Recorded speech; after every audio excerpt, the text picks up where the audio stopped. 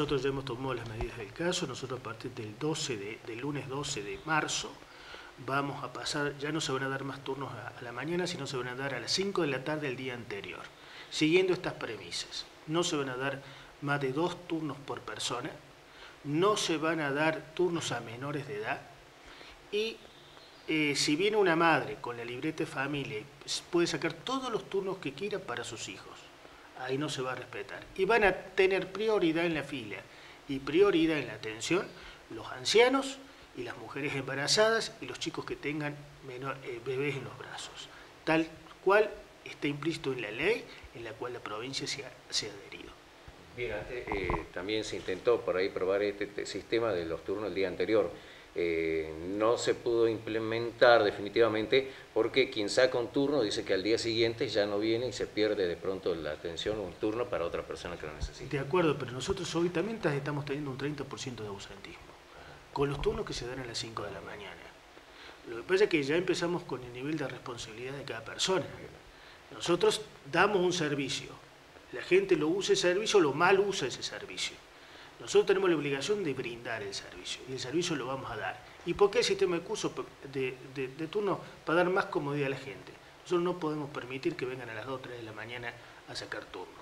Nosotros, eh, a nosotros nos duele la situación de que estén en los pasillos chicos dando vuelta a las 2 o 3 de la mañana. Eso no es justo. Ahora van para llegar antes, pero ya va a ser de día, digamos. Ya va a ser de día y ya va a haber otro tipo de contención y otro, otro tipo de forma. Y por supuesto, si hay alguna alteración, iremos, iremos viendo cómo los vamos solucionando.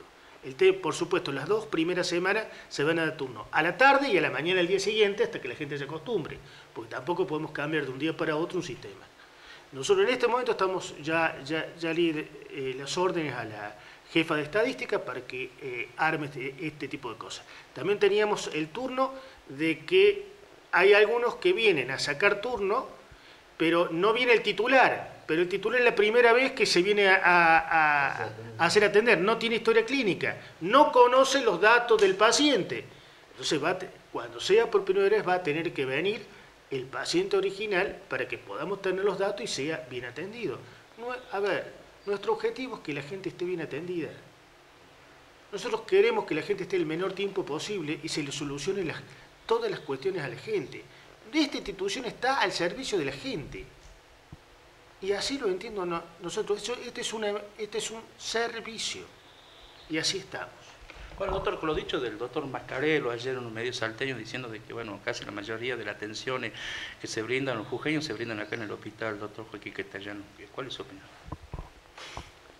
A ver, eh, Jujuy también atiende a, nuestros, a, los salteños que, salen de, Iruya y de, y de Santa Victoria. Se atienden en La Quiaca y se atienden en, en Humahuaca. A mí me tocó estar, estar, en Iruya y yo derivar a cosas. Yo creo que es una cuestión totalmente recíproca.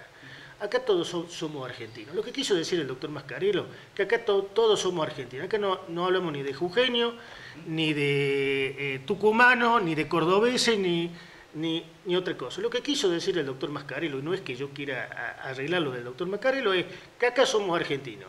Y la salud no tiene ni edad ni sexo, tiene necesidad y no nos importa el color o la raza, hay que atenderlo, porque esa persona viene con dolor y viene con una necesidad. Eso dijo el doctor Mascarello. No tergiversemos, lo, no lo saquemos del contexto donde lo dijo. Lo que quiso decir, dejemos de, hinchar con los bolivianos, porque el que viene a un hospital es que tiene una necesidad, sea boliviano, jujeño o salteño, y hay que atenderlo.